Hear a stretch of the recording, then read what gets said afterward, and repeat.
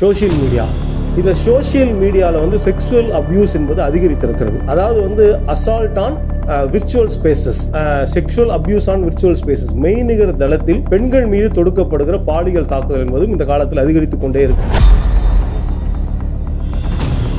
தாய்மை காலத்தில் நாற்பது சதவிகிதம் பெண்கள் வந்து அனிமிக் பேஷண்ட்ஸாக இருக்காங்க. ரத்த சோகை நோய்க்கு நாற்பது சதவிகிதம் தாய்மை இழந்திருக்கிற பெண்கள் ஆளாகிறாங்கன்னு சொன்னால் இது ரொம்ப அதிர்ச்சிகரமான ஒரு விவரமாக நமக்கு முன்னால் இருக்கு.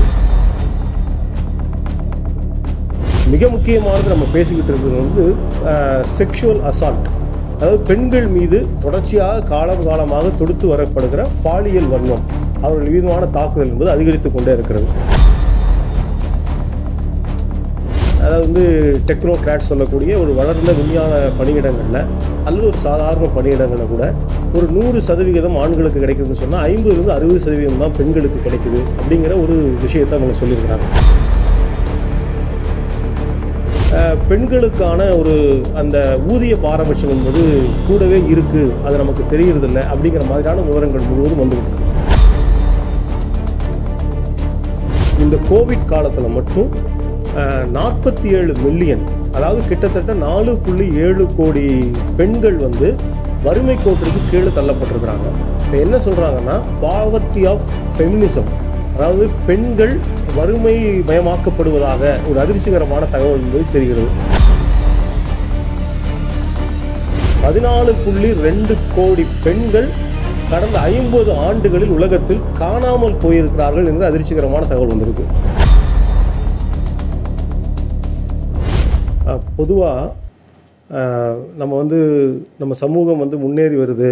ஒரு மாடர்ன் சொசைட்டியில் வாழ்ந்துட்டுருக்கோம் அப்படின்னு சொல்லிட்டு வரோம் ஆனால் வந்து இந்த சமூகத்தில் பெண்களுக்கான பொதுவெளி அதாவது வந்து பப்ளிக் ஸ்பேஸுங்கிறது ரொம்ப ஷ்ரிங்க் ஆகிட்டே வருது. இப்போ பெண்களுக்கான சோஷியல் ஸ்டேட்டஸ் சமூகத்தில் அவர்களுக்கான இடம் என்பதும் ஒரு கேள்விக்குறியாகி வந்து கொண்டே இருக்கிறது. ஒரு மூணு ஆஸ்பெக்டில் இந்த பிரச்சனைகளை நம்ம பார்க்கலாம். ஒன்று வந்து பொருளாதார தளம். அண்மையில் வந்து வேர்ல்டு எக்கனாமிக் ஃபாரம் அப்படிங்கிற ஒரு அமைப்பு வந்து ஒரு ரிப்போர்ட் வெளியிட்டிருக்காங்க. அதில் அவங்க வந்து பல்வேறு வளர்ந்த நாடுகளை கேட்டகரைஸ் பண்ணியிருக்கிறாங்க அதில் என்ன அவங்கன்னு சொல்கிறாங்கன்னா இந்த வளர்ந்த முதலாளித்துவ நாடுகளில் அதாவது பொருளாதார ரீதியாக வளர்ந்திருக்கிற நாடுகளில் கூட ஒரு ஜெண்டர் இன்இக்வாலிட்டி ஒரு ஜெண்டர் கேப் பெரிய அளவுக்கு இருக்குது அப்படின்னு சொல்கிறாங்க அதாவது வந்து மிக முக்கியமான பணியிடங்களில் அதாவது வந்து டெக்னோகிராட் சொல்லக்கூடிய ஒரு வளர்ந்த விஞ்ஞான பணியிடங்களில் அல்லது ஒரு சாதாரண பணியிடங்களில் கூட ஒரு நூறு சதவிகிதம் ஆண்களுக்கு கிடைக்குதுன்னு சொன்னால் ஐம்பதுலேருந்து அறுபது சதவீதம் தான் பெண்களுக்கு கிடைக்குது அப்படிங்கிற ஒரு விஷயத்தை அவங்க சொல்லியிருக்கிறாங்க. அதே போல் வந்து அவர்களுக்கான அந்த ஊதியத்தில் ஒரு ஏற்றத்தாழ்வான நிலை என்பதும் அதிகரித்து வருகிறது. இதெல்லாம் வந்து வளர்ந்த நாடுகள்லேயே இருக்குது அப்படின்னு சொல்லியிருக்கிறாங்க. இன்னொரு மிக முக்கியமான விஷயம்னா இப்போ இந்த மாடர்ன் மெத்தடில் வந்து white collar blue collar jobs அப்படின்னு நம்ம சொல்கிறோம் இப்போ ஒயிட் காலருக்கும் ப்ளூ காலருக்குமே வந்து நீங்கள் வாங்கக்கூடிய சம்பளத்தில் ஒரு பெரிய கேப்புங்கிறது இருக்குது ஆனால் இதில் முக்கியமான பிரச்சனை என்னென்னா ஒயிட் காலராக இருந்தாலும் ப்ளூ காலராக இருந்தாலும் எல்லாத்துக்குள்ளே இன்விசிபிளாக ஒரு பிங்க் காலர் அதாவது கண்ணுக்கு தெரியாத பெண்களுக்கான ஒரு அந்த ஊதிய பாரபட்சம் என்பது கூடவே இருக்குது அது நமக்கு தெரியறதில்ல அப்படிங்கிற மாதிரியான விவரங்கள் முழுவதும் வந்துக்கிட்டு இருக்கு. அது ஒரு பெரிய உயர்நிலை பொறுப்பாக இருந்தாலும் சரி அல்லது ஒரு கடைநிலை பொறுப்பாக இருந்தாலும் சரி. ஒரு ஆண்களுக்கான ஒரு இடமும் அவர்களுக்கான மரியாதையும் ஊதியமும் வேறு மாதிரி. வேற பெண்கள் அந்த பொறுப்பில் இருந்தாங்கன்னா அவர்களுக்கான அந்த மரியாதையும் ஊதியமும் வேறு மாதிரி இருக்குது இப்படிங்கிற மாதிரி விவரங்களெல்லாம் வந்து பொருளாதார தளத்தில் வந்து வெளியிடப்பட்டிருக்கிறது அப்படிங்கிறத பார்க்க முடியும்.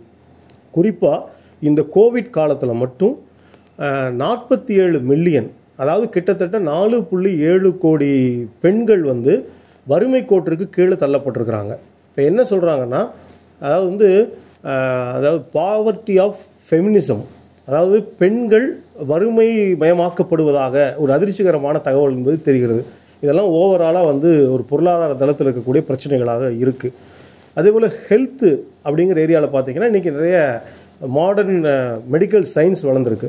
பட் அது வந்து பெண்களுக்கு உதவி செய்கிறதா? அல்லது வந்து பெண்கள் இது எல்லாம் வந்து பெருகிற ஒரு அக்சசிபிலிட்டி இருக்கான்னு சொன்னால் அதுவும் ஒரு கேள்விக்குறி அப்படிங்கிற மாதிரியான சில விவரங்கள் என்பது இன்றைக்கி வெளியே வந்திருக்கிறது. ரொம்ப அதிர்ச்சிகரமான தகவல் என்னன்னு சொன்னால் பேறு காலத்தில் அதாவது வந்து தாய்மை காலத்தில் நாற்பது சதவிகிதம் பெண்கள் வந்து அனிமிக் பேஷண்ட்ஸாக இருக்காங்க. இரத்த சோகை நோய்க்கு நாற்பது சதவிகிதம் தாய்மை இழந்திருக்கிற பெண்கள் ஆளாகிறாங்கன்னு சொன்னால் இது ரொம்ப அதிர்ச்சிகரமான ஒரு விவரமாக நமக்கு முன்னால் இருக்குது அதே போல் வந்து at the time of delivery அந்த ப்ரெக்னன்சி டைமில் அந்த குழந்தை பெறக்கூடிய நேரத்தில் வந்து பர் டே ஆவரேஜாக உலகம் முழுவதும் எட்நூற்றி பத்து உயிர்கள் என்பது பெண்கள் என்பது உயிரிழந்து கொண்டிருக்கிறார்கள். அப்படின்னா இந்த மாடல் மெடிக்கல் சயின்ஸ் அவங்களுக்கு எப்படி அக்சசபிலிட்டியாக இல்லை அப்படிங்கிற விவரம் இதில் நமக்கு தெரிய வருது. இன்னொரு மிக முக்கியமான விஷயம் என்னன்னு சொன்னால் ஆயிரம் பேர் பெண்கள் இறந்து போனாங்கன்னா பிலோ ஃபைவ் ஏஜ் அதாவது வந்து ஐந்து வயதிற்கு குறைவான குழந்தைகள் இறப்பில் பதிமூணு சதவிகிதம் என்பது இருந்திருக்கிறது. ஆகவே இந்த ஹெல்த் ஏரியாலையும் பார்த்தீங்கன்னு சொன்னால் பெண்களுக்கு ஒரு போதுமான ஒரு பாதுகாப்பின்மை என்பதும் இருக்குது அப்படிங்கிற விவரங்கள் என்பது இந்த விஷயத்தில் தெரியுது. மிக முக்கியமானது நம்ம பேசிக்கிட்டு இருக்கிறது வந்து செக்ஷுவல் அசால்ட் அதாவது பெண்கள் மீது தொடர்ச்சியாக காலம் காலமாக தொடுத்து வரப்படுகிற பாலியல் வன்மம் அவர்கள் மீதுமான தாக்குதல் என்பது அதிகரித்து கொண்டே இருக்கிறது. நீங்கள் வந்து உலகம் முழுவதும் எழுபத்தி மூணு புள்ளி ஆறு மில்லியன் அதாவது சராசரியாக ஏழரை கோடி பெண்கள் எய்தர் அவங்களுடைய லைஃப் பார்ட்னர்ஸ் அல்லது நான் பார்ட்னர்ஸ் கணவர்களாலோ அல்லது வந்து உறவினர்களாலோ அல்லது தெரிந்தவர்களாலோ வந்து ஏதோ ஒரு வகையில் வன்முறை தாக்குதலுக்கு உள்ளாக்கப்படுகிறார்கள். அப்படின்னா இது எவ்வளோ பெரிய ஒரு மோசமான விஷயம் அப்படிங்கிறத வந்து நம்ம பார்க்க முடியும். அதே போல் பார்த்தீங்கன்னா நூற்றி நாற்பத்தி ரெண்டு மில்லியன் பதினாலு புள்ளி ரெண்டு கோடி பெண்கள் கடந்த ஐம்பது ஆண்டுகளில் உலகத்தில் காணாமல் போயிருக்கிறார்கள் என்ற அதிர்ச்சிகரமான தகவல் வந்திருக்கு. இப்போ இந்த லிஸ்ட்டு வந்து நைன்டீன் செவன்ட்டியில் ஐம்பது ஆண்டுகளுக்கு முன்பு ஆறு கோடியாக இருந்தது. அப்போ சமூகம் வளர வளர ஒரு பாதுகாப்பு அதிகரிப்பதற்கு பதிலாக பாதுகாப்பின்மையை நோக்கி பெண்களை தள்ளுகிற ஒரு நிலைமை என்பது இருக்குது அப்படிங்கிற ஒரு விவரம் என்பது இருக்கிறது. அதே போல் இன்றைக்கி நம்ம வந்து மெய்நிகர் தளத்தில் அதிகமான நேரத்தை செலவிட்டு கொண்டிருக்கிறோம். விர்ச்சுவல் ஸ்பேஸ்னு சொல்கிறோம் சோஷியல் மீடியா இந்த சோஷியல் மீடியாவில் வந்து செக்ஷுவல் அப்யூஸ் என்பது அதிகரித்திருக்கிறது. அதாவது வந்து assault on virtual spaces sexual abuse on virtual spaces மெய்நிகர் தளத்தில் பெண்கள் மீது தொடுக்கப்படுகிற பாலியல் தாக்குதல் என்பதும் இந்த காலத்தில் அதிகரித்து கொண்டே இருக்குது இப்படிங்கிற மாதிரி ஏராளமான விவரங்கள்லாம் இருந்து கொண்டே இருக்கிறது. இதுக்கு என்ன காரணம்னா ரெண்டு அடிப்படையான காரணம். ஒன்று இந்த நாம் வாழ்ந்து கொண்டிருக்கிற இந்த முதலாளித்துவ நிலப்பிரபுத்துவ சமூகத்தில் ஏராளமான சமூக வன்முறைகளும் சமூக ஒடுக்குமுறைகளும் இருக்கிறது. ஆனால் இதர சமூக ஒடுக்குமுறைகளுக்கு எதிராக போராடக்கூடியவர்கள் கூட அந்த அமைப்புகள் கூட பெண்களுக்கு மீது எதிராக நடத்தப்படக்கூடிய தாக்குதலை அது ஒரு சமூக ஒடுக்குமுறை அப்படின்னு அவங்க பார்க்க மாட்டேங்கிறாங்க. அப்போ ஒரு பொது புரிதல் என்பது சமூகத்துக்கு வரணும். இந்த நிலப்பிரபுத்துவத்துடைய பழமை சிந்தனையிலிருந்து நாம் விடுபட வேண்டிய தேவை இருக்கிறது. இந்த முதலாளித்துவம் நவீன பிற்போக்குத்தனங்களை அன்றாடம் விதித்து கொண்டே இருக்கிறது. இப்போ இது ரெண்டையும் இந்த பெண்களுக்கு எதிரான அந்த பாரபட்சங்களை சமூக ஒடுக்குமுறையை அதிகரித்து கொண்டே இருக்கிறது. அப்போ இது ஒரு பொது பிரச்சனை. ஏதோ பெண்கள் மீது இழைக்கப்படுகிற இந்த பல்வேறு தாக்குதல்களை அவங்க மட்டுமே போராடி வெற்றி பெற முடியும் என்கிற ஒரு பொது புத்தி இந்த சமூகத்தில் கட்டமைக்கப்படுகிறது. அது பெரிய அளவுக்கு உடைக்கப்படணும். பெண்களுக்கு இழைக்கப்படுகிற இந்த கொடுமைகளோ அல்லது அவர்கள் சந்திக்கிற இந்த பிரச்சனைகளோ இந்த சமூகத்தினுடைய ஒரு பொதுவான பிரச்சனை. அப்போ தனித்தனியான இந்த போராட்டங்கள் இந்த சமூக மாற்றம் என்கிற அந்த பெரும் போராட்டத்தில் வந்து கல்மினேட் ஆகணும். அப்போ தான் வந்து ஒரு சமத்துவ சமூகத்தில் தான் வந்து அனைத்து விதமான இந்த சமூக ஒடுக்குமுறைகளுக்கும் ஒரு முற்றுப்புள்ளி வரும்.